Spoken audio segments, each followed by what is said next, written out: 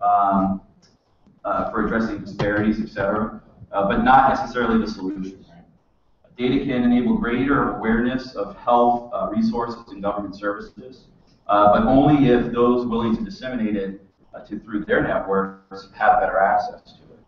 Uh, and then also that the government in general has treasure troves of data, and that agencies are more and more increasingly working to liberate that data. So the one missing key element that we that we haven't heard about today as much is the fact that you know government needs partners to do this. So even though we're all committed to getting this data out there and, and, uh, and we're working towards that, our agency has made a concerted effort recently, uh, and uh, the state of New York, as you saw, has, has, done some amazing things as well. There's many municipalities that have worked on this, including the city of Chicago. You're going to see a great project that they're part of, the Chicago Health Atlas. Um, but we're not too naive to think that, that we can just do it all on our own. Simply just putting the data out there is going to be enough. Uh, we know that it's going to take uh, working with all the different stakeholders and partners that are out there. So I'm going to, I'm going to do a little activity here so you guys, uh, everyone here can see you have some kind of a, a role here to play. Uh, just raise your hand and uh, you can put it down when you're done. Just raise your hand if you're a part of a government agency at any level. Okay? Good. We want to encourage government to continue to do. Uh, a not-for-profit, a CBO, or a foundation or a trust. Uh, a healthcare provider or an insurer. Uh, an advocacy or, policy organization. Uh, private sector, entrepreneurship, uh, type of. Good. Academia, researcher, innovator. Uh, have ever received a healthcare service. okay. Uh, and, and lastly, uh, is a human being. So uh, it, this basically shows that you all have uh, skin in the game, right? And, and, there's a there's a role for you to play. It's it's not that we can figure out that role as always. Sometimes unlocking our data uh, can help you decide what your role is too. So so sometimes we don't know the problems that you can help us solve until we make the data available. Um, the panel that we have with us today is, is an amazing uh, representation of the different stakeholders that are, are increasingly wanting to partner with government to help us liberate our data and to put it to good use. Um, so they're also going to hopefully, uh, uh, you know, with my prodding, uh, uh, talk about why they're working together for this cause. Um, maybe even share some successful examples uh, in, in of some of these collaborative partnerships. So um, if I if I may, can you join me here on the table? I'm going to go ahead and uh,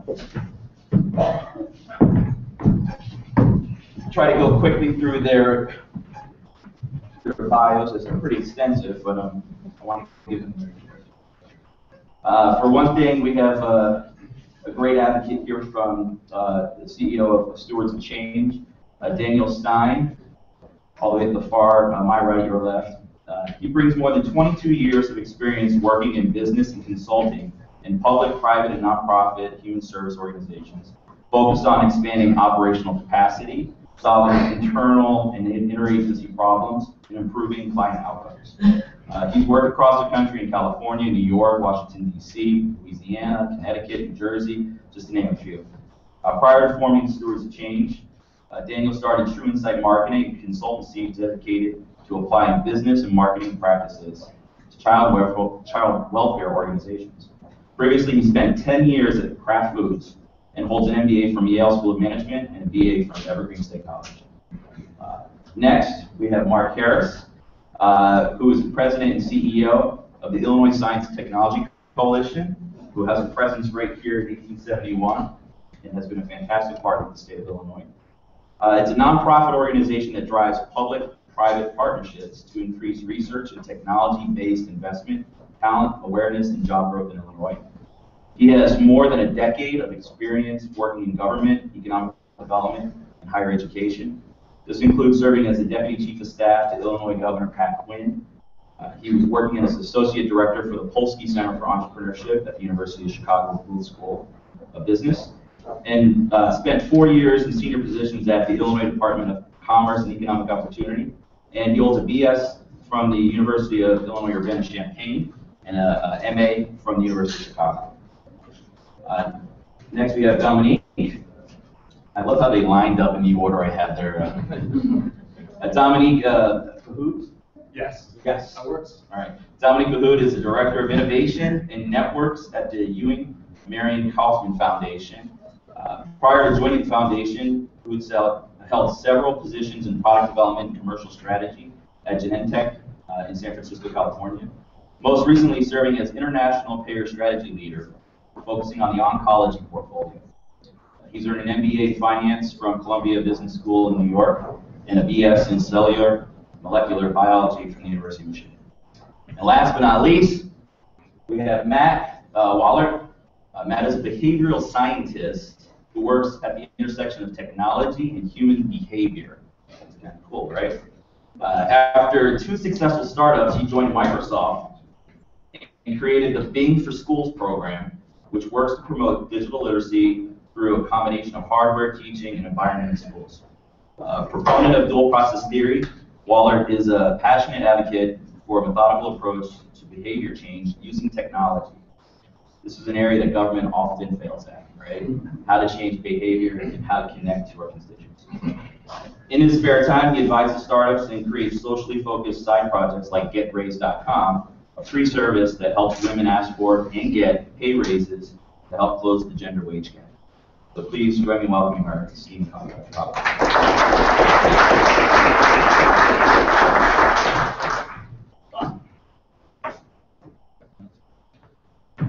So thank you all for joining us. Um, Thanks for having us. um, I know you're coming in from Seattle, you're coming from Kansas City. Kansas City, right here from Chicago, so from Chicago, New York. and New York, outstanding. So we've got pretty much coast to coast uh, on this panel. Um, the, the first thing I want to start with is why why is it that all of your organizations, you know, you have an advocacy perspective, you have uh, a catalyzing organization that, that works at the intersection between private and public sector. Uh, you have a foundation that's obviously interested in this area, and then a private sector representation.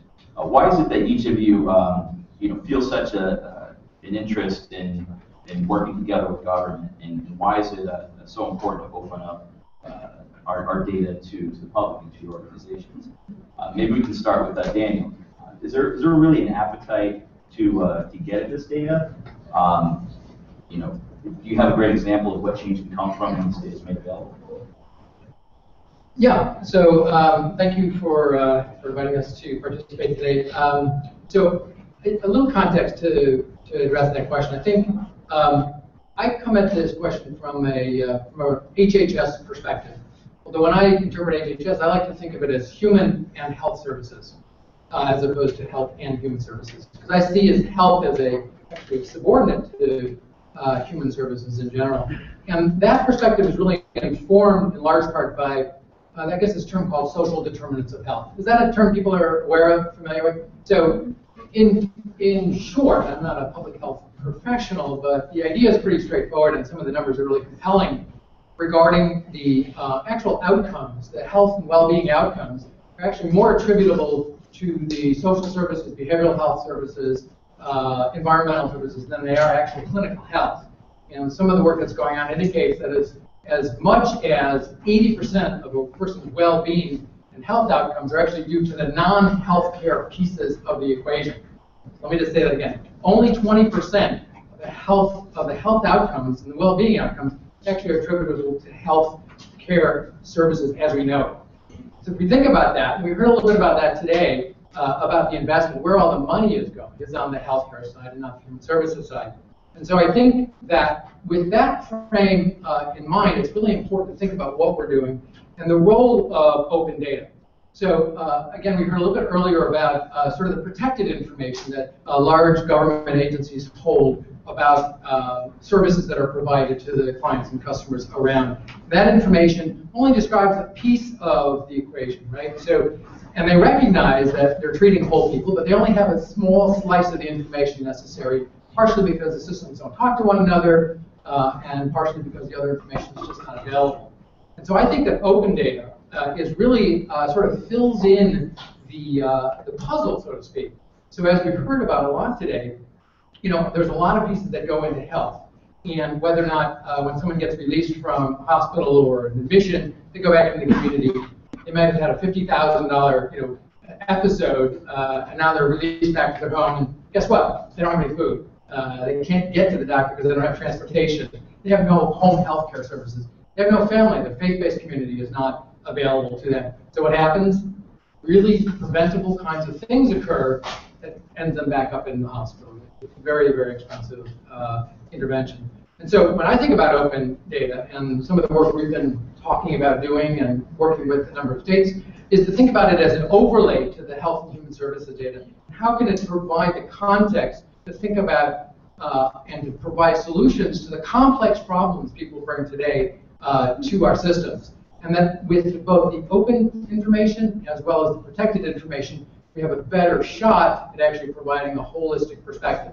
So I think that government agencies are just coming to this. I mean, they're overwhelmed with their own data and ability to get it. Now, no less with uh, a whole nother wave, tsunami of information. But I think that there are folks out there who are really getting it and understand the importance of it. And so I think there's a lot of hope and a lot of desire to be able to use that to really effectively provide coordinated care, which is all the buzz. How do we do that? Yeah, I think Purple Binder was the example. so- I, absolutely, that was that was a great example. Uh, sorry, somebody want to add to that? No, just give a thumbs up to the gentleman. Uh, the Purple Binder. Yes. Um, The next question I wanted to ask is, you know, so let's say now that the government has said, okay, we're going to open our data and we, we've done it, right? We've opened our data. First of all, we have thousands of data sets, depending on how you count it. It's going to take us a while to do that. Um, but, but the data, say, let's assume that the data is out there. Um, how do we put it to use? You know, almost always there's successful examples of how to do this that includes some element of partnering with outside organizations. Maybe Mark can, can allude to that since the name of your your uh, your monthly newsletter is ISTC Catalyst. You know, So yeah, I think definitely um, following the state's lead, really, in the state of Illinois and our Governor Quinn um, has been a leader in putting data sets online. As you know, this data Illinois.gov portal has really created a new structure to get data out there. And I think the role of our organization as an intermediary is to really align partners, um, both public and private, on how you unlock the potential of that data. And so one of the ways in which we've been um, effective in doing that, and one of the things we've taken on is, is really the, the role of, of competitions um, frankly. So there's been two um, two competitions we've been involved with. One in 2012, Hackster Metro Chicago, Illinois. A second one called the, the Illinois Open Tech Challenge. And so using sort of funding as a little bit of a carrot, um, what we've done is to try to create a forum where developers, entrepreneurs can sort of come together to, um, with the communities, to think about uh, the power of, of the data, whether it's you know, transportation or health um, or crime, et cetera, so the um, Illinois Open Tech Challenge, just to, to, give a little bit of background on that, this was a pilot initiative with four municipalities outside of the Chicago region. So it's Rockford, South Suburb, Champaign, um, and Belleville. And what we wanted to do on the first level, and I should recognize Dan O'Neill, I know he's floating around here somewhere, spoke earlier, on um, Smart Chicago Collaborative, who's a great partner of ours, on that was to get municipalities just culturally putting data sets online. So we had microsites developed um, to have them put their municipal data there. And the second effort was really going on site to these communities, bringing the economic development partners, universities, um, the entrepreneurial community, nonprofit community, and really having them talk about what's important to them. Because I think the data on its on its own is really um, just half the battle. It's really getting the stakeholders in a room to understand what the potential is. So there was a lot of discussion around economic development um, needs for a particular community, and part of what um, the, the, challenge was to have developers create um, new and interesting innovative apps. Um, so again, inherently we want kind of economic development as an underpinning to this. Um, so I think we had a we had about seventy-five thousand dollars on the table um, for the competition, and I do want to recognize um, the sponsors we had for that because I think it's also very telling that there is an appetite from the foundation and and, uh, and public and private community to to support. So we had uh, the Knight Foundation, Chicago Community Trust, Motorola Mobility Foundation, Google, and Comcast. So it's interesting when you have you know folks that are um, kind of interested in this in civic innovation and really putting money towards that. So, um, so anyway, so that's been one, I would say, effective way that helped to create more awareness and visibility, and also just having the entrepreneurial community um, connected with, with, with data, and I think uh, maybe making connections that wouldn't happen otherwise. Um, and we can talk a little about some of the um, some of the winners of that that have been helpful. to.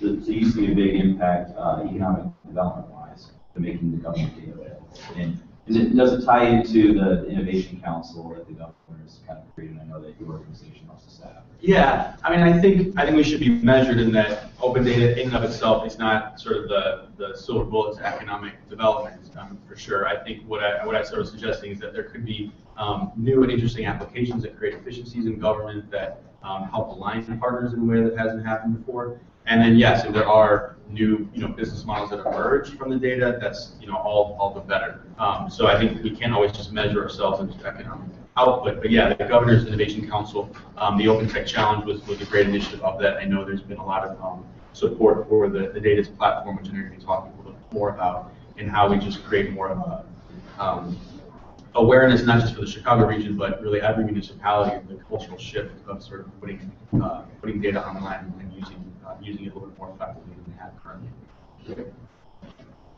The next question is, uh, you know, lately it seems like there's an increase in organizations making significant investments, uh, like these app challenges and others, to encourage the use of these open data uh, sets and, and open health data sets. Um, foundations are giving innovation grants for partnerships and pilot programs, uh, and, and other ways as well. Um, why are foundations and, and other groups so interested in these endeavors? I mean, maybe Dominique, you can speak to this as our foundation right here. So, um, if you can explain some of that. Sure, so um, first I'll give you a little background on the Kauffman Foundation. Uh, Quinn audience know about uh, the Kauffman Foundation? Okay, so a little background. So the, Kauffman Foundation is the uh, largest private foundation focused on uh, entrepreneurship and education. We have about a $2 billion endowment that uh, we use to do our activities, uh, fund our activities. Um, I, I happen to be uh, focusing on mostly healthcare and life sciences. And uh, my activities try to focus on catalyzing activities in areas where there's not much happening or not enough happening. Um, I'll give you a very concrete example um, to help you understand a little bit better what we do, what we care, what we care about. So in the context of healthcare, and, because I, I you know, represent or the interest of entrepreneurs, um, there's three big things that they struggle with today. The first one is access. So once uh, entrepreneurs graduate from the, uh, incubators, accelerators across the country, uh, they have some really exciting prototypes. They're going to change the world, but the big obstacle they face is how do I, how do I engage with uh, centers of care? The, the second obstacle they face is when they, they sort of fall in love uh, with their potential collaborators. How do you deal with the collaboration issues around um, intellectual property, data ownership rights, data standards, et cetera? So how do you walk, walk, walk through that? And so we're actually working on a, a upcoming white paper that talks about uh, a playbook about um, collaborations that talks about these different issues.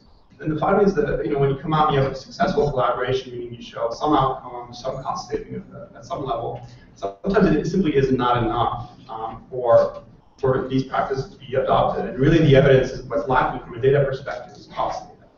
And so that's something also where I'm, I'm uh, thinking about. And so, uh, give you a very specific example of how we're tackling this um, uh, as a foundation. We're actually in partnership with the Health Data Consortium we're doing a series of events across the country, four cities next year, um, uh, Boston, Pittsburgh, Houston, and uh, Kansas City, where we're, we're uh, working with local partners, local uh, community leaders. So these are care centers, these are large employers, these are um, um, uh, employers and payers.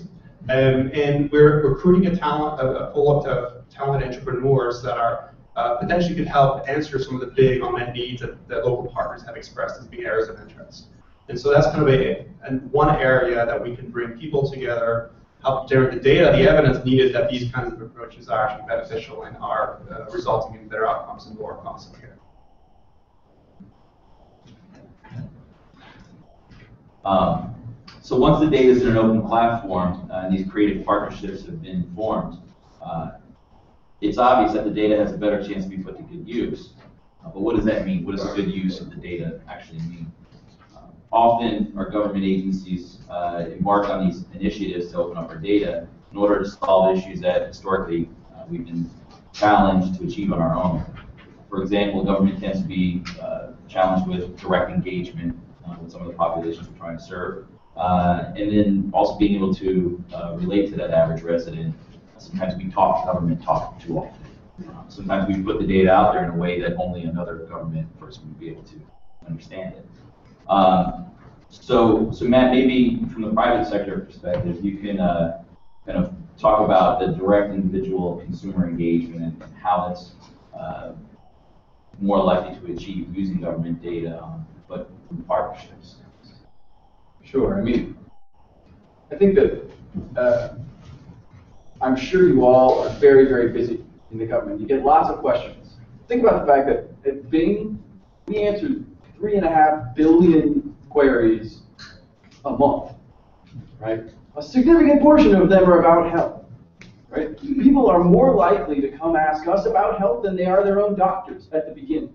You walk into a doctor's office and he says, oh, you have so-and-so. We don't want to look stupid by asking him a bunch of questions. People are very uncomfortable with that, right? Everybody hates talking to the mechanic because they're like, I don't know, make the chunga chunga noise, right? You feel dumb, so you want to go find out what you don't know first. So what's the first thing people do when they find out that they have a health condition? They go search, right? We are the person having that frontline conversation on your behalf. So I think, as Steve sort of pointed out, if you're not making data available to us in a way that we can educate people at that first moment of contact, that's a huge opportunity lost. And it's not because we don't want to help them, right? We're there. We want to answer that question. And we talk about all these great, you know, public-private partnerships, these apps that we created. How do you think people find those apps? They search for them, right? We are the person who says, oh, you said you have diabetes. Let me give you a, a high-level overview of diabetes, and here are the diabetes-related apps that I've got available in the Windows 8 or Windows Phone store. Right? Here's what's available. So if you don't give us at least semi-structured information that we can put into an entity model so that when, hey, when they say diabetes, we say, yeah, we know I have diabetes as an entity, we understand what all the pieces mean. That's the frontline contact that we need. And I think uh, I loved uh, your presentation, particularly because it was incredibly user-friendly.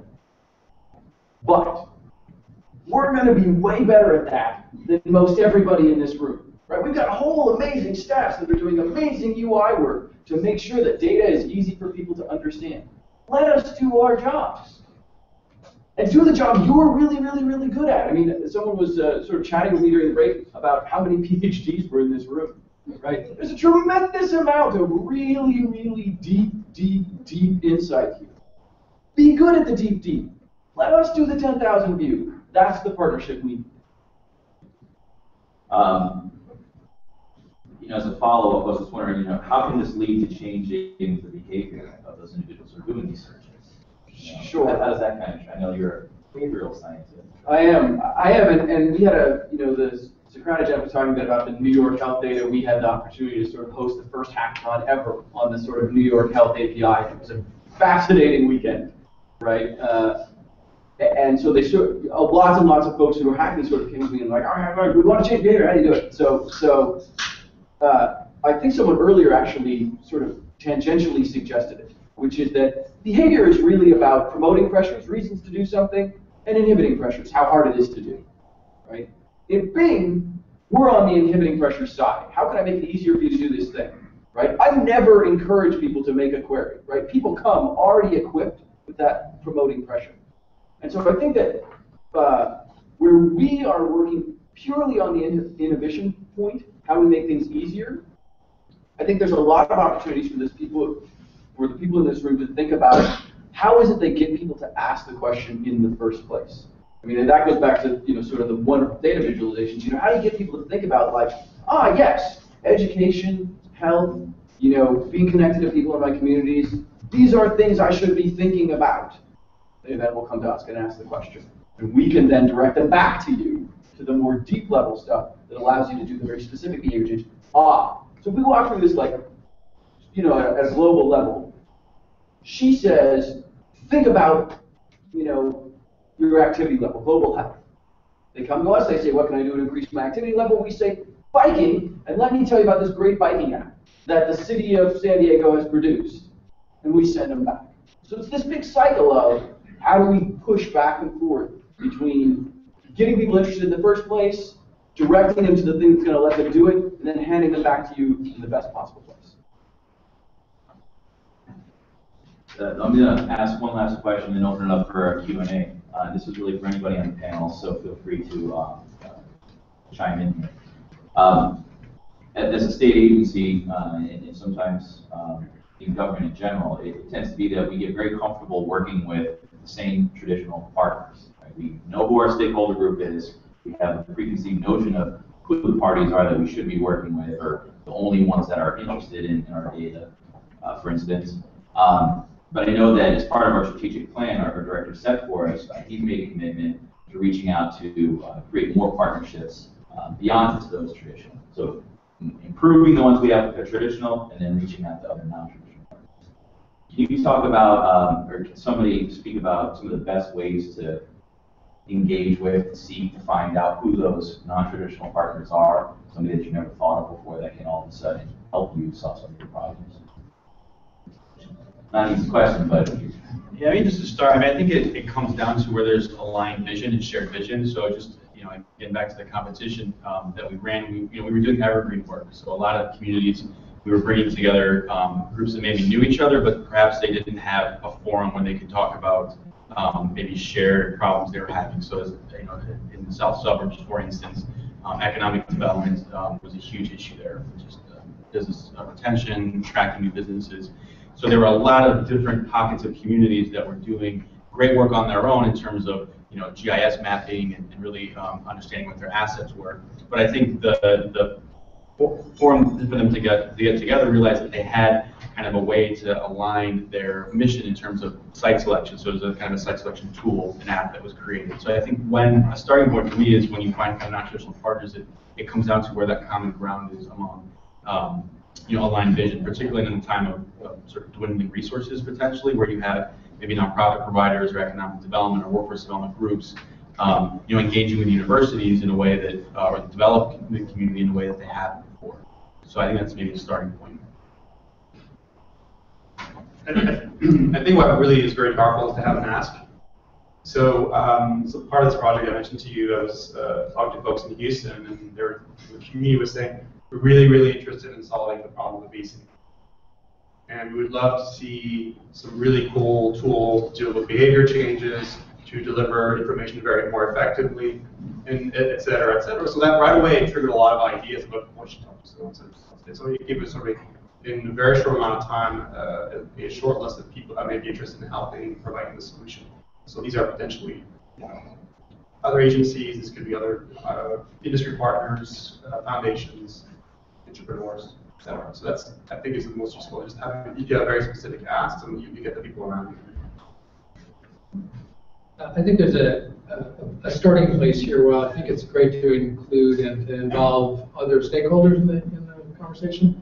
Uh, our experience over the years has been, uh, oddly enough, having uh, creating, helping to create forums within inside existing government structures for them to one meet each other, secondly to actually talk with one another, and thirdly to get creative about how they can do more together within the agency that they live in. And unfortunately, oftentimes our agencies uh, are so structured in such silos that there's a people are so busy uh, that there's really not a lot of focus on crossing those those silos, and that uh, we found just tremendous interest uh, everywhere we've had the opportunity to work is to actually introduce people in a different kind of forum, in a different kind of conversation, so they can actually hear about uh, how they're addressing the, the clients that they're actually already servicing. You know, uh, I think Herb said it was up to 60% of the state budget is going towards health and human services and corrections and those kinds of things.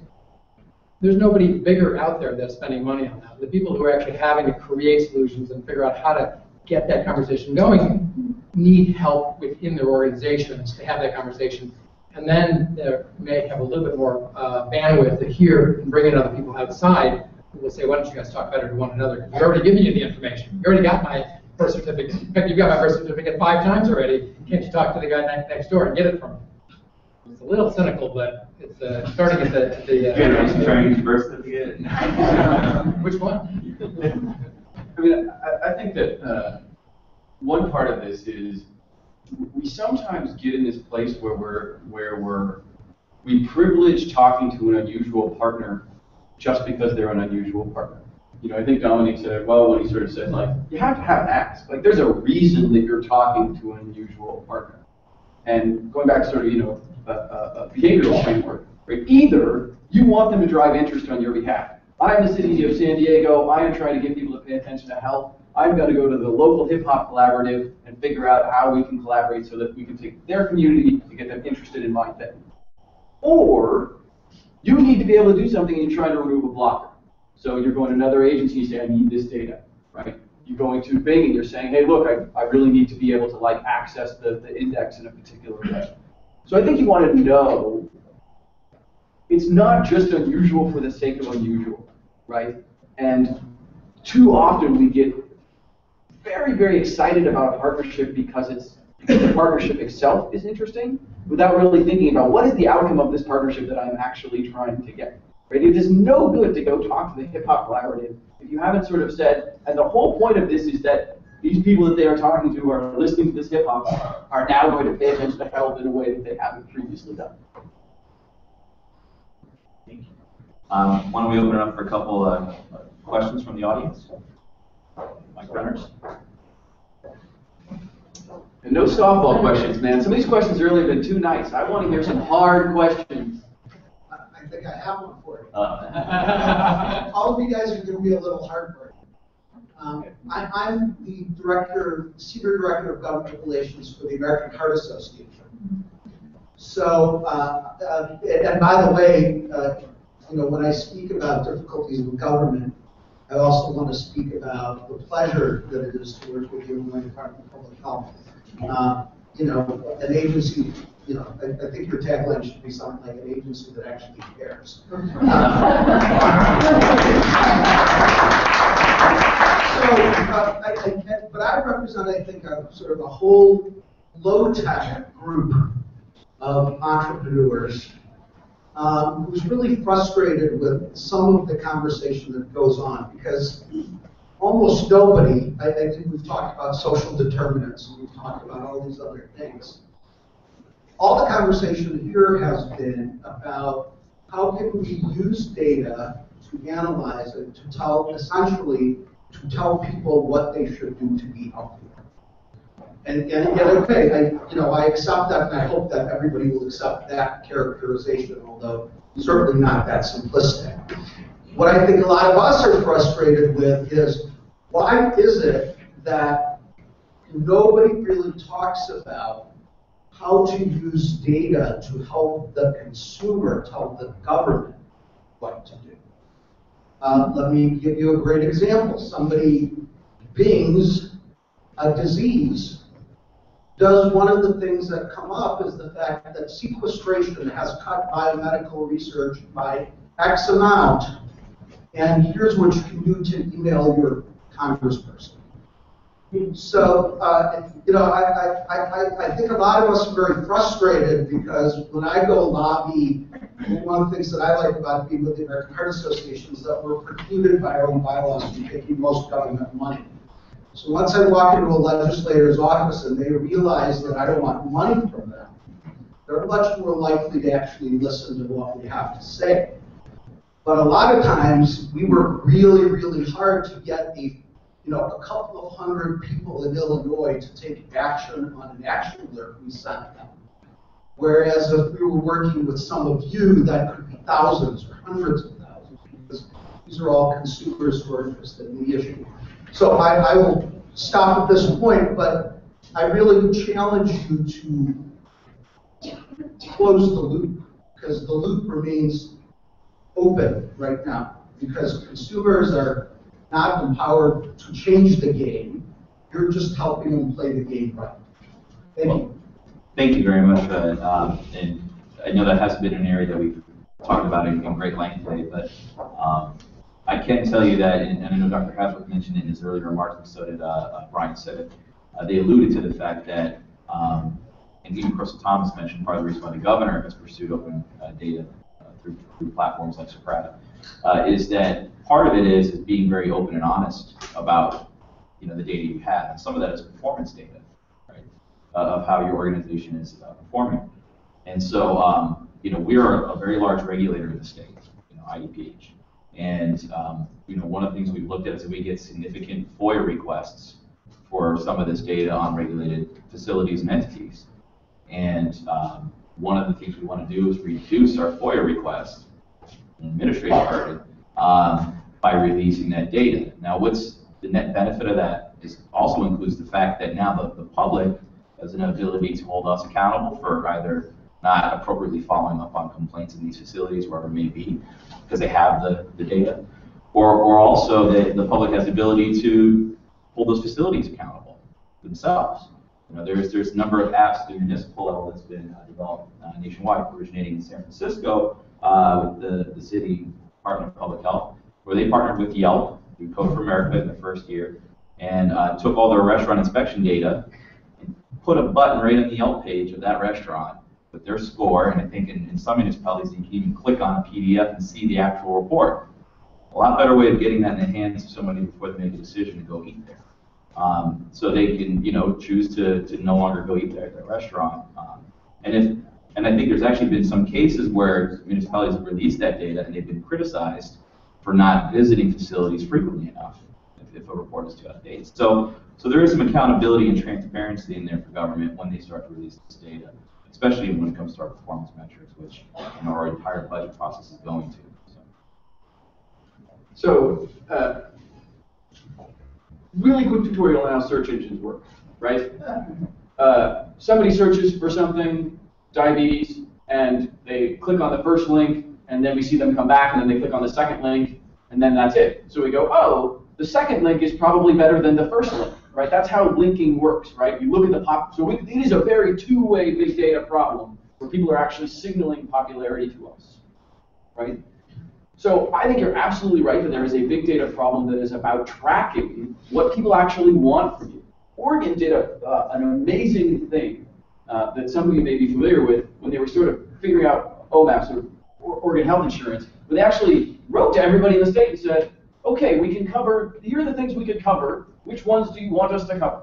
Right? That wasn't the only determinant, but it was a factor, right? People were, you know, because we might have looked at the big data and said, oh, cancer happens the most, so we're going to cover cancer, right? But it turned out, you know, people were really concerned about, you know, health or, or sort of diabetes, right? And so we're going to move that up the rank. So I think there can be this, this two-way portion of uh, back and forth. And you're right, right to call us out. I don't think we've done a good enough job today talking about how people actually push data in. That said, we already have all this data sitting around, right? Whereas what you're really talking about is new sets of data that we don't generally track. And that's, I think, a, an important follow-up conversation is, what are the things that we're not tracking that we should be tracking, right? So much of this is about taking the covers off data we already have and making it available so that Mark, when he does like a great social innovation competition, has the available data. But it is absolutely true that one of the questions you should walk out of here saying is, what's the question we're not asking? I mean, Mark, maybe you can speak to sort of in the competition if people sort of thought about this or. Um, well, I guess I, I like to highlight one of the winners actually to really kind of maybe convey. So, um, OK Copay, I don't know if Greg's in the room, but they were going to send someone um, today. So they're to me one of the best examples of the conversation, a little bit of a company that sort of was able to be formed out of out of data. So they won the um, Metro Chicago competition a few uh, years ago, and essentially they created a database of providers and um, and costs for medical procedures. So in essence, uh, from data perspective, you know, they looked at it as you shop for um, flights or hotels, and you're able to get all this information about cost, but you aren't able to do the same thing for health procedures. Um, and so they kind of uncovered this mountain of data to help people find out how much things cost. I want to get the infrared and pulled it up yesterday. So now they have essentially um, saved over 35,000 users more than 3 million in healthcare prices.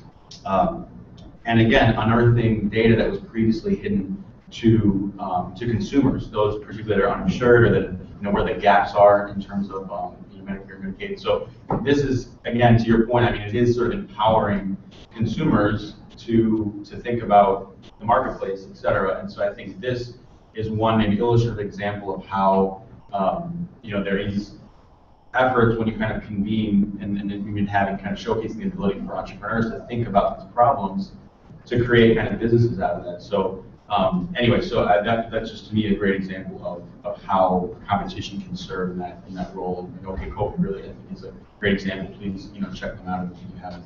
If I could just also add one, one last piece uh, to my earlier comments. Um, and just real quickly, uh, so sometimes too, the, the data that we have that we're trying to uh, put out in an open format in a more usable, more digested way, um, is that missing element or the key element where somebody's already working to tell the government what they need to change, and sometimes they need that other piece of information to now take it, add it to their assessment, and then you know complete uh, their assessment and tell us what we need to do uh, differently as, And I'm pretty sure the guy over at Purple Binder right over there wants to tell you what people are looking for, right? Like that was in his talk was, and we will identify the gaps that are, exist in the community based on what people are asking. Yeah, Purple Binder guy. We have one in the, I think we have one more, time for one last question. Right here in the center. The DC government released uh, much of their internal data in 2006, and they found out that the majority of the users were actually different departments. So you might have housing data in six departments, and you know. In, the state of Illinois, we have this budgeting for results, which I think is supposed to be the first year. And the idea is to examine, many government services are actually carried out by private organizations, nonprofits. Mean, you have a foreclosure counseling service that counsels two hundred people a year, it costs two thousand dollars per person. You have another one, in another part of the state that counsels eight hundred people a year for, you know, a quarter of the cost, like that. We have a, a, a group that counsels people getting out of prison, you know, another, you, you try to figure out which ones are getting the most effective results, and then you share those results. And so the first component, I think, is that you're internally gonna supposed to be looking at the, this data to try to figure out what's efficient, what's not, reallocate money. But then you're gonna release data so that the public and people like software developers and designers can start analyzing it. Can you give us an update on the progress of that program, what's happening? Of the budgeting for results? Yeah. Uh, so as I, as I mentioned just briefly, um, you're absolutely right. We are, as a state, working towards, I think we're in our second year or so of working towards budgeting based upon, uh, performance metrics within every agency. And we've had a a budget book, you know, for a long time where we have certain metrics in there. They're really refining all those and then hopefully moving within this next budget cycle actually to making decisions on funding based upon past performance. Uh, all too often, agencies, you know, my first experience in state government was as CFO. And uh, our budget started with, what was it last year? You know, we began from there and tried to justify for that and forbid if we saved any money that year, you know, we, we tried to spend it quickly at the end of the year because then next year, if we needed it, um, they were going to cut it if we didn't spend it the previous year. So, so it became this, uh, you know, this vicious cycle. Well, now they're moving, and some of it was that we were just mandated to do it, was it getting the results the, the original legislation intended. You know, it, it wasn't really being evaluated. We were just continually funding it uh, for that purpose. And the ones that were achieving outstanding results, um, they weren't necessarily growing in funding or being continued to, to, to get more funding because these other mandates were, were there uh, propping up the budget. So they definitely are uh, moving in that direction. This year, we, we are, uh, being forced as all state agencies, which is a good thing, um, to, to get information into a public dashboard uh, for a budgeting process. So, being told we're out of time, um, thank you very much. I appreciate it. Thank you to our panelists.